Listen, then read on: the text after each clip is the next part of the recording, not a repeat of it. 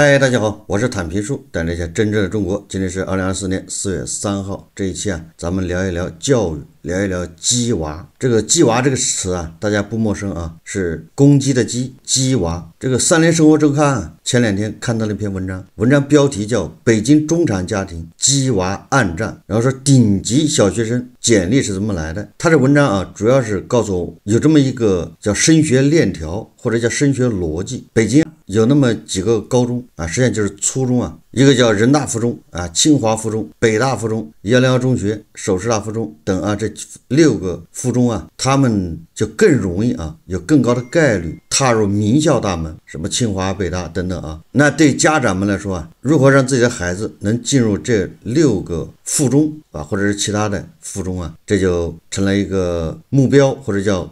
手段吧，实际上就是要提前布局，在小升初激烈竞赛挤进这个海淀六强，这就意味着啊，海淀区的小学生从小学阶段就开始卷。什么叫卷呢？以往就是考试比文化课比成绩，但是随着这个参与的人越来越多。光比成绩已经不行了，大家开始比拼其他的，所以这个就叫卷。因为评价这些小学生的指标啊，或者叫参考指标越来越多，而且也是水涨船高。以英语考试为例啊，啊，几年前的是剑桥通用英语第二级这种证书啊，是小升初简历的标配，现在已经不行了，现在需要剑桥通用英语第三级，或者是。剑桥通用英语第四级，小学生啊就要达到这个剑桥通用英语第四级，这个已经成为潮流。呃，剑桥通用英语第四级啊，大家恐怕也知道啊，它对应的是雅思是什么成绩？相对应的这个英语、奥数啊这些课外辅导这种标准化考试之外啊，实际上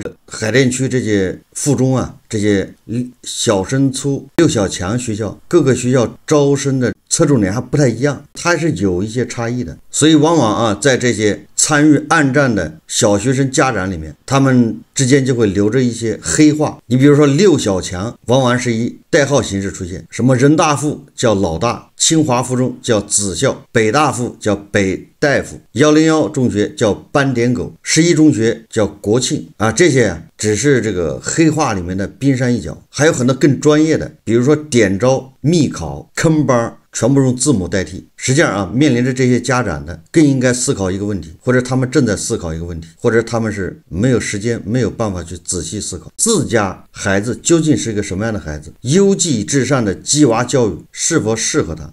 文章说啊，叫谁是海淀妈妈？海淀妈妈一般的代表的就是鸡娃，哎，望子成龙，望女成凤。这个海淀妈妈这个词，指那些自己本身就是超级学霸，拥有顶级教育资源啊，本身恐怕是九八五或者二幺幺毕业，甚至是海归。他们为孩子精细规划并严格执行的那类妈妈，这个海淀妈妈是个范畴啊。如果你跟他们打交道，进入他们圈子，你就发现他们也是分层的啊，分成什么黄庄妈妈、万柳妈妈。实际上啊。以前拼的是小学小升初，所以在小学要努力。现在已经战场前移，从幼儿园开始，因为这些海淀妈妈信奉的是不要让孩子输在起跑线上，所以这个起跑线啊可以提前设置，可以前置。这些海淀妈妈，她们风尘仆仆，穿最朴素的行头，报最贵的辅导班。很多人以为。鸡娃呀，就是出钱给他报班就行了。实际上这完全是不够的。鸡娃分为素鸡，什么叫素鸡呢？就是素质教育为主。还有荤鸡，荤鸡什么意思呢？就以学科学习为主。他们必须要谋划是班鸡课后以上辅导班为主，还是打算以后走国际路线，还是高考路线等等。他们的孩子从幼儿园开始，往往就是四岁开始报班，什么编程，什么钢琴，什么篮球，什么羽毛球，跳绳，可以说是安排的满满当当。从幼儿园一放学就被接到另外一个地方去上辅导班。在这些海淀妈妈眼里啊，或者是他们的朋友圈里面，总会出现别人家的牛娃。他们口中啊，别人家的孩子一般的具备市三好生，什么七次奥数比赛一等奖，什么通过剑桥英语 CAE 考试，钢琴九级，学校大队委，全国英语演讲冠军等。这些海淀妈妈目前最大的感受是考试。越来越隐蔽，把孩子们拉到外地考试的情况时有发生。另一方面，围绕考试花的钱更多，海淀妈妈们身上的疲惫和焦虑也加深了。以剑桥英语等级考试为例，两三年前教育部统一组织考试的时候，一次报名费只有三百，如今机构承接了报名资格，报名费上涨到两千多，这还算是一个很合理的价格。当初报名的时候啊，机构要求必须同时报课才能获取报名资格，共计花费七千多。你光报考这个剑桥英语考试不行，你必须要报这个辅导班才能帮你去报名。除此之外，还有很多啊，各大名校的坑班。什么叫坑班呢？就是说他辅导你怎么样上这些海淀的六个中学，进行有针对性的辅导，以确保你在啊竞争这些学校的入学名额的时候啊，能够遥遥领先。俗称啊叫占坑，你占上这个坑，你有很大的概率就进入这个目标中学。一个坑班的费用在万元上下，有的时候啊，尽管花钱报了很多课，时间却多有重复，有些课根本上不了，报名只为多一个考试机会。另外，钱完全有可能打了水漂，有时候你不知道这究竟是坑班还是一个坑。这些海淀妈妈很多都是全职妈妈，她的所有的工作重心就是这孩子，有很多是辞职在家，有很多就根本就没有上班，负责鸡娃。即便有人在上班，那他辅导孩子学习、鸡娃，这都是他的第二事业，甚至比他上班更重要。文章的最后啊，说海淀妈妈们像这山望着那山高的孤岛一样，牛娃和普娃不再是客观水平的代名词，而是他者和自我的分野。鸡娃现象啊，不光是在北京的海淀出现，全国各地各个地方都有。海淀因为高校众多，有很多。初中啊，近水楼台先得月。那依附这些初中的这些小学，甚至幼儿园，也就早早的参与了这场竞争啊。在北京的西城，对吧？北京的什么朝阳，呃，鸡娃也很严重，在西安。所以，我们今天聊一聊这个鸡娃这个现象，聊一聊教育。实际上，鸡娃这个事情呢，不仅中国，对吧？东亚啊，甚至美国、欧洲啊，都有鸡娃现象，只是啊。程度不一样，像中国啊，像海淀妈妈这么鸡娃的，恐怕比较奇葩啊，这么卷的应该是不多见。鸡娃啊，从正向来说啊，你可以理解成是叫重视教育。中国人呢，实际上历来都重视教育。说起来啊，历史悠久，从这个科举开始，就是科举啊，大家恐怕都知道一些，就是他给这个平民子弟，就给普通人打破圈层啊，提供了一个梯子。就是在科举之前，是靠这个门阀，对吧？这个权贵家族，谁是豪门望族，那你的子弟就去当官。所以一代一代下来，这个阶层就固化，平民阶层永远是平民阶层，权贵永远是权贵，这中间是隔离的。这科举呢，实际上就是打破了这么一个规律。你平民百姓，你只要愿意考试，对吧？通过科举一样可以当宰相。那你权贵呢？你要学习不好。恐怕也当不上什么大官。那如果当不上什么大官，这个家族慢慢的也就衰落了。所以这个不管科举啊是褒是贬，是好是坏，但至少它起到这么一个作用，让这个阶层啊能够流动起来。这只是它流动的效率啊，这个是另外一回事。所以说有了科举之后啊，咱们中国人啊，不光是中国人，这个整个的儒家文化圈就更加重视教育。大家不知道这个最早的学区房概念，我我记得啊，前两天媒体有报道，北京市海淀区。万柳的叫蜂巢家园、蜂巢社区啊，目前的价格跟它最高价已经跌掉一半了。根本原因呢，因为那个地方是多校多区什么联合划片。哎，简单点说，就是你在那个小区落户，但是不代表你就是能在那附近上最好的小学，也可能给你划到别的地方去了。所以那个住房住址啊，不是唯一啊，或者叫它不能确保你上什么中关村一小，附加在这个小区上面的。学区的属性啊，就基本上打折了，所以它的价格目前说降了一半啊，这只是管中窥豹啊，可见一斑。最早搞学区房的，最早提出学区房概念的。就是孟子的母亲吧，要么叫孟母三迁呢？就为了他孩子上学，或者为了孩子教育，他不停的搬家。搬家嘛，就是搬到学区更好的地方，对吧？不光中国有学区房，美国也有学区房啊。既然教育是应该重视，这个在教育上投入也没什么好说的。那我们应该怎么看待这个小孩的教育？怎么看待未来的教育？对吧？怎么看待鸡娃？我个人觉得啊，作为家长，首先知道对吧？你到底想把孩子培养成什么样，或者你知不知道你的孩子他适合干什么？就是他未来做什么会更好？实际上家长不知道的，家长是盲目的。家长的想法比较简单，不管你未来干什么，如果你能考上清华，那不是更好吗？不管你未来干什么，如果你能出国上哈佛、上什么麻省理工，那你未来会更好。所以说啊，他们就把一切啊都简化为考一个名校，或者你换个说法，就是他第一步你必须先考上一个名校，再说以后，这就变成了一个路径，先上名校，对吧？再谈未来。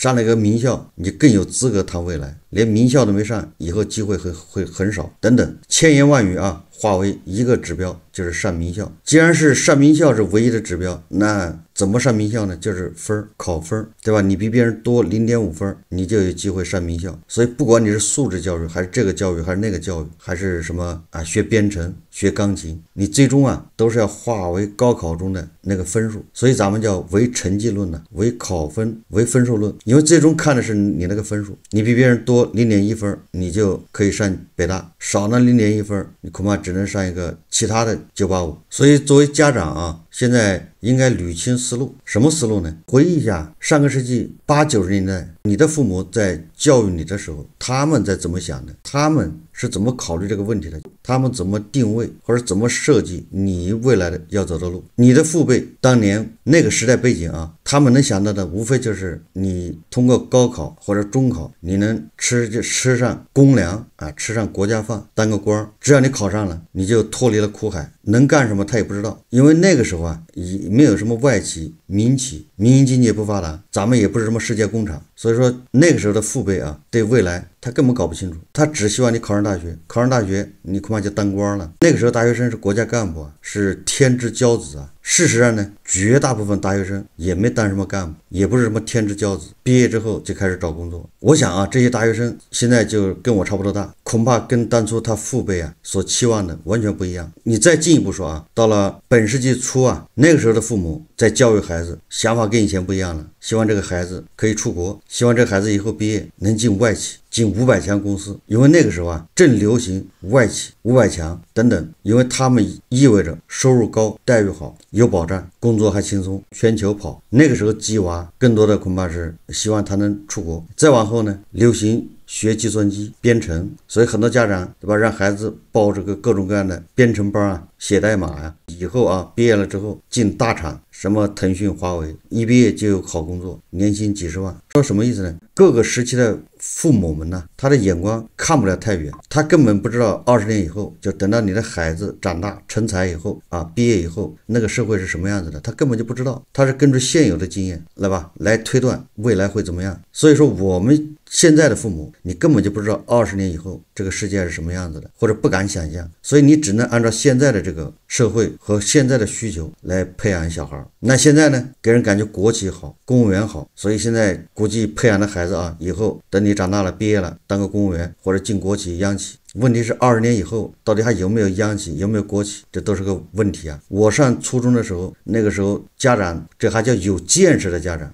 没见识的家长就是糊里糊涂就知道种地。有见识的家长希望自己的孩子能考良校，那时候学习最好的第一名、第二名才能上良校，良校是个中专呢。毕业之后就直接进入粮食系统，那时候大大小小都算个干部啊，而且是国家工作人员呢。哎，我的同学因为他爸是老师，所以很有见识，就让他目标就是上粮校。他的成绩非常好，初中一毕业就上粮校了，我就上高中了。等等到我考上大学，他已经在粮站粮食系统上班了。等到我大学毕业，他就下岗了，因为粮食系统没有了。如果把他父母教育他算作鸡娃的话，这典型就是鸡娃失败。所以说现在的父母，你去鸡娃，你不知道过了十五年以后这个世界是什么样子的。我们现在看到的是人工智能 AI，但是十五年以后是不是就是人工智能 AI 的天下，谁也不知道。这个社会会发生什么变化也说不好。所以你这个时候鸡娃，你就得考虑怎么鸡，往哪儿鸡，鸡什么。如果千言万语化作一句话，就是考名校，那现在已经落伍了。我认为啊，适当的鸡娃是有必要的。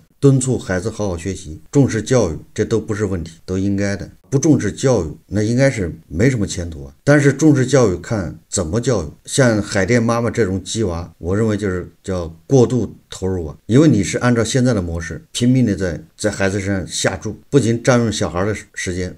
消耗家庭的资源，消耗金钱，还消耗大人的这个时间和精力啊。或者说，就从海淀妈妈本身来说吧，他们是九八五、二幺幺，或甚至是海归，那他们被他父母寄完之后，他没有正经上什么班啊，恐怕也就上个三年五年的，然后就生孩子，完了就开始鸡娃。等孩子大学毕业，他差不多过了三十五，现在过了三十五你就找不到工作了。那从他这个人生轨迹来说，他父母激他，那就是个失败呀。他父母当初。拿钱投入什么资金啊？投入精力帮他上辅导班的时候，给他预设的未来可不是毕业以后工作两年完了就回家带孩子，完了鸡娃在海淀那儿，那他本身就是鸡娃的失败，他是个失败的，他再去鸡他的娃，他的娃过二十年以后又是变成个海淀妈妈，又去鸡娃，这个有什么意义呢？所以。应该越多，就越来越多的家长应该意识到这一点。我认为啊，在这个孩子大学毕业以前，他在校学习期间，无论是从幼儿园到小学、初中，还是高中，还是大学，在校学习期间，最最重要的是学习如何学习的能力，实际上就是提高他的学习能力，而不在乎他学什么，这不能本末倒置。实际上是要教孩子怎么学习，提高自学能力。第二个呢，就是要教育孩子的适应能力。就如何与社会相处，如何与环境相处，如何适应社会。你无论是在中国，还是在美国，还是去澳大利亚，你都面临着一个适应问题。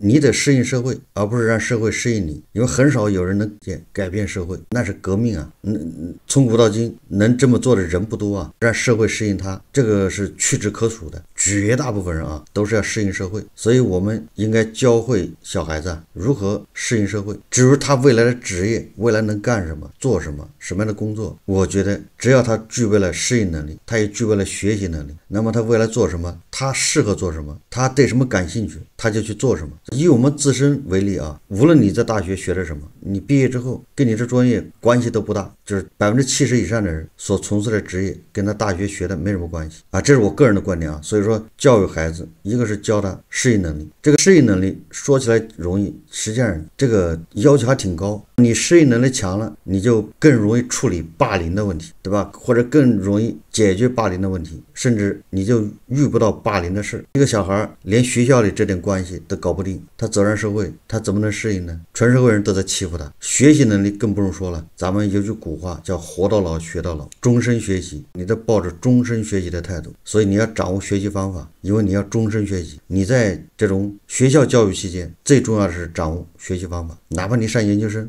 你跟着导师后面，你还是在掌握学习方法。做研究、做学问的方法，如果在学校教育期间发现了孩子一些特长或者他的兴趣，那基于他的兴趣再去投入或者再去调整方向，这个比盲目的啊去学钢琴要强多了。在北京啊，有那么一段时间，学钢琴成为孩子的标配，管你是不是弹琴的那个料，管你对音乐有没有感觉，总之都得去弹琴，而且都要弹到九级。还有什么？我记得还有个英皇，那个是多少级啊？完全是浪费啊，浪费时间，浪费精力，因为。绝大部分人根本就不是搞音乐的料子。海淀妈妈花一百万去鸡娃，把他寄到一个九八五大学。等到孩子毕业之后，要不了几年，又变成海淀妈妈。这里就不能不说咱们叫应试教育，唯分数论。改革开放之初啊，因为咱们缺人才，所以那个时候恢复高考，相对来说是五花八门。但是随着中国的改革开放啊，中国对人才需求越来越大，因为我们是世界工厂，所以我们需要的是工程师，是拧螺丝的，是照着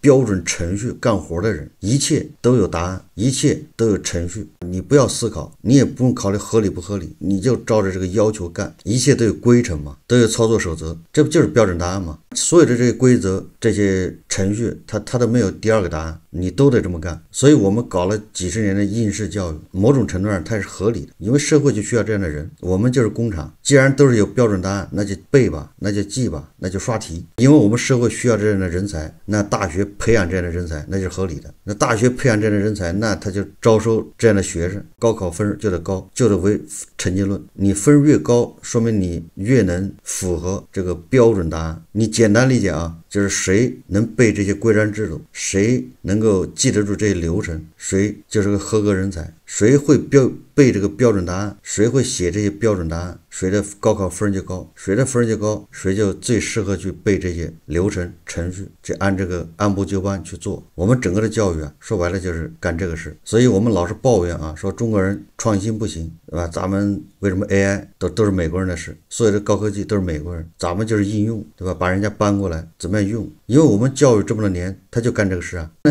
因为我们现在已经到了一个瓶颈，对吧？你是第二大经济体，你现在需要技术上要突破，你的这个生产制造要升级，发展是迭代的嘛？你已经过了原始或者初级发展阶段，所以教育啊，它要改革，你不能再一批一批的制造这种工程师，这种背标准答案的人，这个这种人实际上已经被淘汰了。如果你再制造这样的人，那只能会造成大量的失业，造成更多的浪费。他学了也是白学了，走上社会用不上，就不是家长要转换思想，而是社会，而是整个教育。所以说，我们喊了多少年的打破唯分数论，为什么就不能打破呢？因为我们社会上需要。现在这个社会慢慢的已经不需要了。你再在那刷题，考上一个大学出来没工作，毕业就是失业，好不容易找个工作吧，其实也干不好，因为你学的东西没用。那中国要想在这个科技竞争中啊脱颖而出，你这个教育就得改，不能再是以标准答案为这个教育目的啊，而是教人怎么去思考，教人怎么去发散。作为家长啊。